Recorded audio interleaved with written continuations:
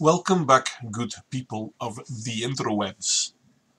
Okay, so the last week in America has been a rather dicey one. Spicy one. Eh, a repeat of moves. Why do I say a repeat of moves? Didn't I realize that Congress got attacked? Yeah, yeah, yeah. Congress got attacked by un unarmed people that the police actually more or less allowed to enter. They shouldn't have, mind you, they shouldn't have. Controlled opposition is a thing, and I'm pretty sure that, yes, the people that died actually died, so that's no fun, that's no joke. But among the people that penetrated the, the seat of government, well, part of it anyway, some of them were controlled opposition. We know that Antifa was inside. Everyone talks about how it's right wing. Confirmed there were Antifa people among them as well. Now don't get me wrong, I think they're useful idiots just as much. It's all controlled opposition. It's going to be a tool used by the Democrats to further diminish the rights of the American people.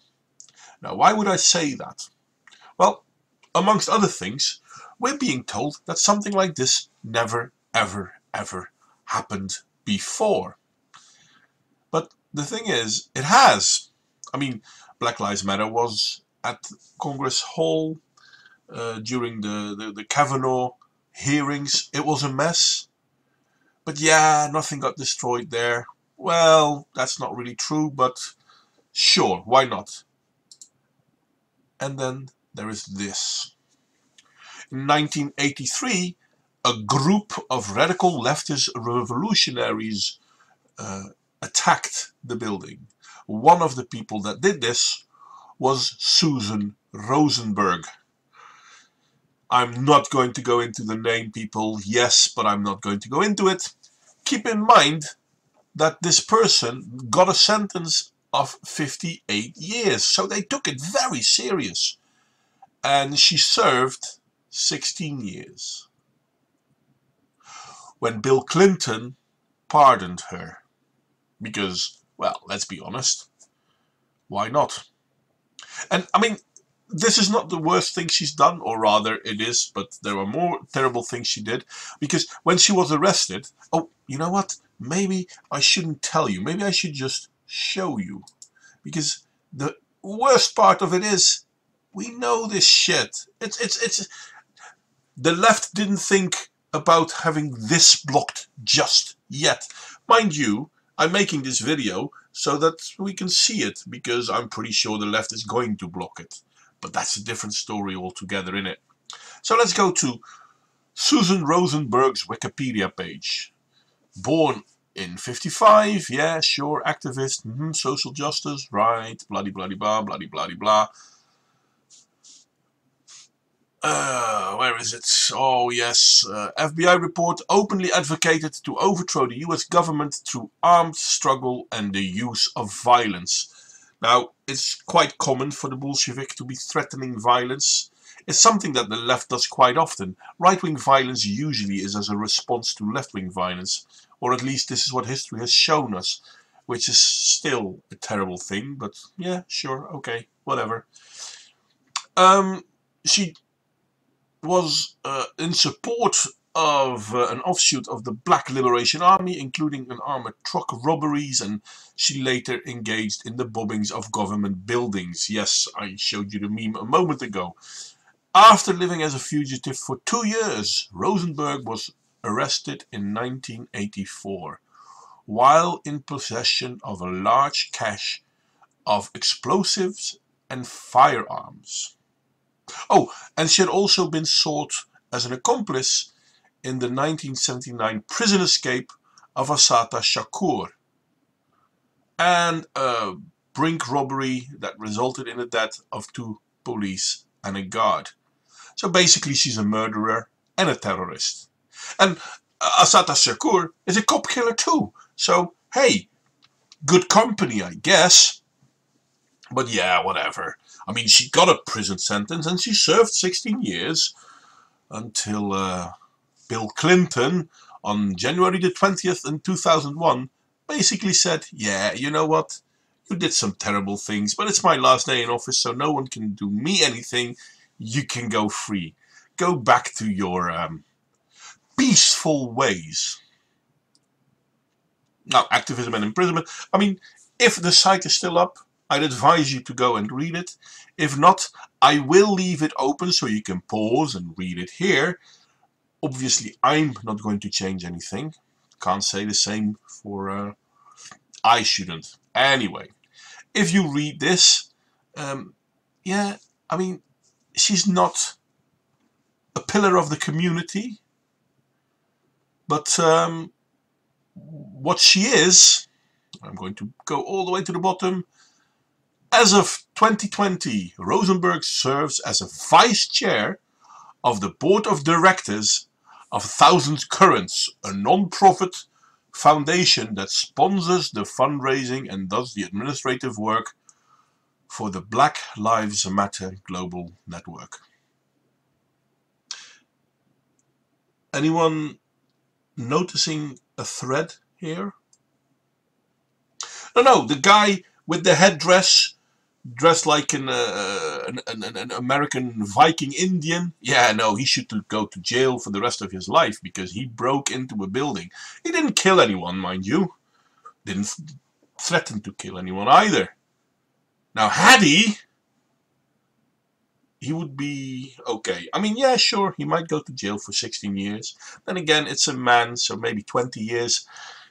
But, um, yeah, a, a Democrat will then... Uh, release him. Oh no, wait a second. Because these people protested against the Democrats. And we know that the Republicans do not release cop killers. But then again, this is not a cop killer. Well, I mean, yeah, sure, Susan is. The Viking American isn't. Viking Indian American? Dude, I mean, if you have a costume, at least try to figure out which costume you're going to have all of a different story. But are we noticing a pattern here? Okay, I've left it long enough. You could have paused, you could have read. So I'm going to go back to the meme. Because it's brilliant, isn't it? How the mainstream pundits are telling us, oh, well, we've never had anything like this happen in the good old US of A. But um, we have, haven't we? Strange how that goes. That's the thing with the Bolshevik. That's the thing with the postmodernist. History means nothing. How dare you suggest that events and words have meaning? Obviously, this will be one of the many things that I'm doing that will uh, not please the overlords. But then again, my YouTube channel is small enough as it is, so they won't care. Uh, I might uh, lose this video. Might not. I mean, why bring attention to it, right? So all I can ask you is like, share and subscribe and, and make waves. Obviously, I don't agree with the violence done in the capital. I think people were wrong to do this. At the same time, it's not a first time. And I fear it may be the only way to go now. I mean, let's be honest. Politicians are calling out other politicians. They're calling out people to attack other politicians. And it didn't start this week. Hell, we can still remember Maxine Waters when Trump was just inaugurated. Remember? If you see people who work with this president make a crowd in the street, attack these people, well, she didn't say attack these people, make a crowd, make a noise, let them know they're not welcome here. And say let's stay the course. Let's make sure we show up wherever we have to show up. And if you see anybody from that cabinet in a restaurant, in a department store, at a gasoline station, you get out and you create a crowd. And you push back on them. And you tell them they're not welcome anymore, anywhere. I'm sorry, but the violent rhetoric didn't come from Trump or the Republicans or the supporters of Trump. But as history has shown us, that's about to change. When the Bolsheviks started basically attacking the civilians in Italy at the turn of the 20th century, uh, 2010, 2015, Italy didn't automatically turn into a fascist state. It took several years before Mussolini and the grassroots movement from the Italian people fighting back against the Bolshevik turned into fascism. And then when the fascists were attacking everyone in Germany, don't forget the Spartacus Revolution in Weimar Republic Germany was in 1918. Most people didn't even care about Hitler back then. In 1933, the Socialist and Communist Party basically put their hands together and organized in a way to combat the fascists in it, uh, Germany. There weren't any, not back then. I mean, Hitler's party was nothing. But Antifa got started and they attacked people. Well, obviously they attacked people. It started in 1918 with the uh, Spartacus Revolution. And the Freikorps fought back. The Freikorps, by the way, are not political. And then, eventually, Antifa got started, and the Nazi party got started, and they started to butt heads. I love it how the Bolshevik will always say that they are in a response to the violence on the other side, when history shows us that time and again it's the other way around. Antifa is creating havoc in America and the Proud Boys got started. And Antifa is there to stand up against the Proud Boys, but Antifa was there before the Proud Boys. And the Proud Boys responded to Antifa. And just like in Italy and in Weimar Republic Germany, the politicians protect Antifa.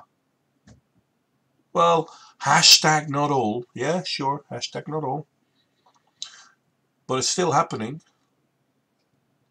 And sooner or later, the population will turn against the left wing Bolshevik. And then all of a sudden they're right wing. I prefer that we could prevent that from happening. I really do. America, please return to the rule of law. Don't bullshit around talking about how you're going to attack certain Republicans. I think they're idiots too, sure. But they have the right to speak. And the left wing should realize that you're not the government, you're representatives. Okay, you're the government, you're the government of representatives. You should represent your people, not the big global corporations. And in all fairness, whether you're a Democrat or a Republican, it doesn't really matter because both of these groups are culpable in this. That's why they hated Trump so much. He rocked the boat. And this is why so many Americans will stand up and will be counted. Because they want to rock the boat too. Globalists have had a long time playing. But um, in America too, they are now being called out for the violence they are enacting on their people. But remember what happened the 6th of January. Oh yeah, that's right-wing right-wing extremism. That's right-wing terrorism. Oh, all these people need to go away a very long time. But when someone actually kills cops, when someone actually builds bombs to attack these places of power, well, I mean, they will get 16 years, but um, a president will pardon them. A Democrat president will pardon them. I'm sorry, America, but um, seems you've got a lot of shit to deal with. I wish you the best of luck, and I do hope you do not turn into what happened in turn of the century, well, turn of the 20th century Europe. But if you do, Good luck. Like, subscribe if you want to. Like, share, subscribe if you want to. No, actually, please share this. You don't have to like it, but please share this because this is a conversation we need to be having. It's not about whether Trump was the greatest president in the world. Maybe he was the biggest dick out there. Who cares? But what the other side has been doing the last four years and the last two weeks, my God, America, stand up and claim your country back, even if you're a Democrat.